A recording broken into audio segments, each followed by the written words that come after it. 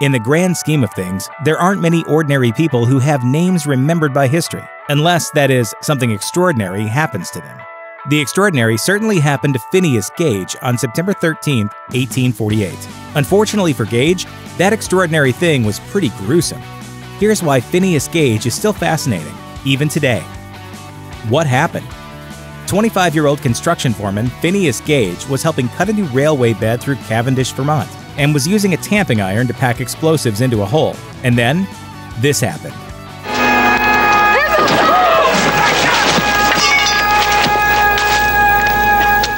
The explosives detonated early and sent the 4 foot, 13 pound tamping iron through his left cheek, into his brain, and out his skull. Making things worse, according to legend, he might not have even lost consciousness.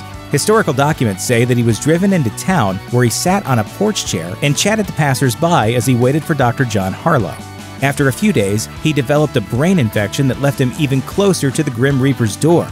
But the Reaper had apparently been impressed enough with what he'd already survived to give him a pass. He recovered, lost use of his left eye, and went home two months later. Everyone who knew him before and after the accident agreed he had changed, and when he died in 1860 after suffering a series of seizures, he remained a part of historical and medical infamy. Pioneering neurology. Gage is one of the earliest documented cases of traumatic brain injury, and his accident couldn't have come at a better time for the science of neurology. When Dr. Harlow first documented Gage's story in the Boston Medical and Surgical Journal in 1848, no one believed it. It wasn't until 1850 when Harvard professor Henry J. Bigelow wrote a piece on him being a fully functional human post accident that people started to notice this medical miracle. Bigelow's follow up report in 1868 focused on the mental manifestations of the accident, saying he had become fitful, irreverent, indulging at times in the grossest profanity, and manifesting but little deference for his fellows. In short, the guy who got a giant metal spike through his head allegedly became a jerk. Neurologists at the time insisted that we needed to look inside the brain to unlock the secrets of what made us human, and Gage was the first documented case that provided evidence for this. So we should probably be thanking Gage for his unwitting scientific contributions. Insane in the brain. There's still a ton we don't know about brain function today, and we can't always peek inside to see what's going on. So we have to find other ways to get a look. Gage's accident and his big open brain was helpful in doing just that. We know what part of his brain sustained the most damage the prefrontal cortex. And we know what happened to him afterward.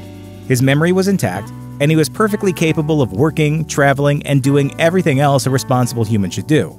But everyone also agreed that his personality underwent a big change, which was pretty good proof that our personality lives in our prefrontal cortex.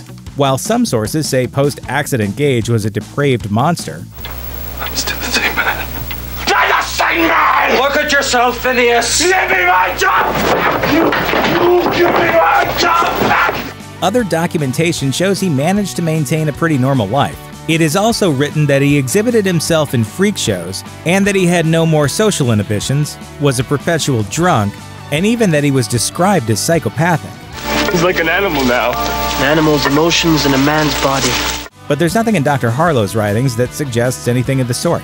And his mother testified he was eager to keep working after the accident and loved making up stories to tell his nieces and nephews. Psychopath, storyteller, or something in between? No one's entirely sure. New insight. Technology has come a long way since Gage's accident, and it's a lucky thing that we still have his skull. The official cause of Gage's 1860 death was complications from epileptic convulsions. No autopsy was performed after he died, but Gage's body was exhumed seven years after his burial, and his brother in law took both the skull and tamping iron to Dr. Harlow. Today, both artifacts are housed in Harvard's Warren Anatomical Museum.